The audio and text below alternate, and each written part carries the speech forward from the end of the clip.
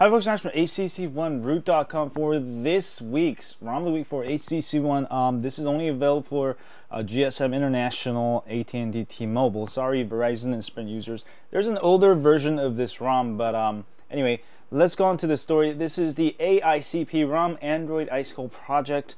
Um, it's sort of like AOKP with a couple extra stuff added, which I really like. Um, it's got the Omni switch if you want to. You got your favorites. Um, it is Android 4.4.2 and it is blazing fast and I really, really like it. Um, it has a ton of features. For those of you uh, who want full AOSP ROM along with a full set of customization features, um, this is the definitely going to be the ROM for you. Uh, let me go ahead and show you. Um, so Omni Switch, you can go ahead and set it there. If you go to settings, you'll be able to find um, the full AOKP ROM control. This is, I believe this is from the latest nightly. So you got the general, um, go ahead and swipe to the left, lock screen, uh, status bar, uh, toggles. I mean, I'm not going to go over all of it because I have a full tutorial guide on it. If you're a noob, um, definitely check out the video. I'll have a link to it on my site. A power menu, you got screen recording, all this good stuff with AOKP ROM control. That's all AOKP. Now, what is extra, what is cool about this ROM? Uh, AICP extras. If you go here, you got the Halo uh, floating notifications. If you need it, uh, Omni Switch, you can go ahead and enable use for recents there. Display and animations, um, bunch of stuff you can do here. Uh, if you want to change your animations, go there. Uh, status bar, notifications, um, quick pull down, smart pull down, sorry, uh, and a bunch of stuff there you can do.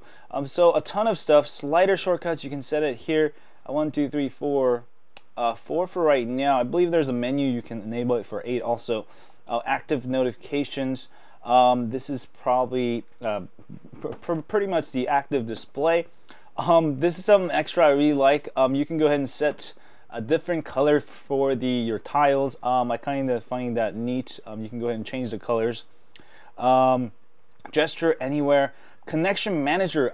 if you're on uh, like uh, LTE and you want to save sometimes battery life or you, you don't want to be on 4G all the time, um, you can use this to kind of um, throttle your connection whenever you need to. Um, also, kernel tweaker here. Um, this will allow you to tweak your kernel.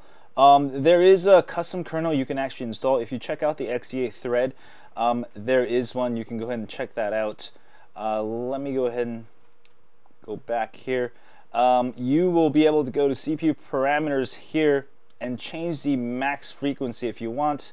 Um, let's go ahead and change it. Uh, is actually at the max 1.998 gigahertz, uh, which should be fine, but you can go ahead and uh, if you get a custom kernel, you'll be able to overclock. LCD density, you can go ahead. Um, I actually, this one actually comes with the density that I didn't really like, which comes with 320. Um, you can go ahead and change it to 480, which is normal for this phone. Reboot, and you'll see um, this style here. So that's pretty easy to do. A wake lock blocker. Um, also dark uh, AICP. Um, overall, very nice ROM, super duper fast, uh, very good battery uh, performance. So definitely check it out for this week's ROM of the week. If you're looking for a good AOSP ROM uh, with full feature fill, definitely check out AICP. I'm looking very, very nice. Um, kudos to the XDA developer n3ocort3x. Anyway, um, check it out for this week's ROM and do let me know what you think. And we're gonna have to skip Sprint and uh, Verizon this week, uh, but for hopefully next week uh, we have something for you also. Um, and thanks guys for watching this video. As always, um, don't forget to stay high on Android. Yeah.